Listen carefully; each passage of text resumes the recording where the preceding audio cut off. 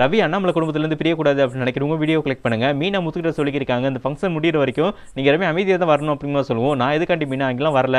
இது பிளான் போட்டு யாரோ என்னை பிரச்சனை பண்ணுமே சொல்லிட்டு இந்த மாதிரிலாம் பண்ணிக்கிருக்காங்களோ அப்படிங்கிற மாதிரி எனக்கு பயமாக இருக்குது அப்படிங்கலாம் சொல்கிறாங்க இன்னொரு பக்கம் பார்த்தோன்னா இப்போ அண்ணாமலை எல்லாரும் பார்த்தோன்னா இப்போ ஸ்ருதியோட வீட்டுக்கு போயிருக்காங்க. அப்போ ஸ்ருதியோட அப்பா பார்த்தோன்னா கண்டுக்காமல் மரியாதையும் கொடுக்காம அண்ணாமலைக்கிட்ட முறைச்சு பார்த்துட்டு போயிடுறாரு இது அண்ணாமலைக்கு ரொம்ப இன்சல்ட்டாக இருக்குது இதெல்லாம் பார்த்துட்டு முத்தும் பார்த்தோன்னா அப்படியே கையை முறுக்கிட்டு இருக்காரு. ம் அமைதியாக இருங்க அப்படிங்கிற மாதிரி மீனா பார்த்தோன்னா அதட்ட ஆரம்பிக்கிறாங்க. உள்ளே போனதுக்கப்புறமா ஸ்ருதியோட அம்மா ரவிக்கிட்ட மட்டும் நல்ல விதமாக பேசுகிறாங்க அதுக்கப்புறம் பார்த்தோன்னா அங்கே இருக்கிற ரிலேட்டிவ் எல்லார்கிட்டையும் இந்த மாதிரி என்ன இவங்கெல்லாம் பார்க்கும்போது மிடில் கிளாஸ் மாதிரி தோணுது. எப்படி உங்கள் ரெண்டு பேருக்கும் இது இப்படி செட் ஆச்சு அப்படிங்கலாம் கேட்டுக்கிருக்காங்க. அதுக்கு ஸ்ருதியோட அம்மா இந்த மாதிரி என் பொண்ணு தான் தேவையில்லாமல் லவ் பண்ணி தொலைஞ்சிட்டா.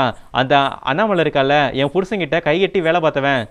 அவன் பையன்கிட்ட சொல்லி என் பொண்ணை வளைச்சி போடுறக்காண்டி எல்லா ஏற்பாடுமே பண்ணியிருக்காங்க அப்படிங்கிற மாதிரி தப்பாக பேசுகிறாங்க இது முத்து பார்த்துட்டு இப்போ ஸ்ருதியோட அம்மா பார்த்தோன்னா அடிக்க கை உங்குறாரு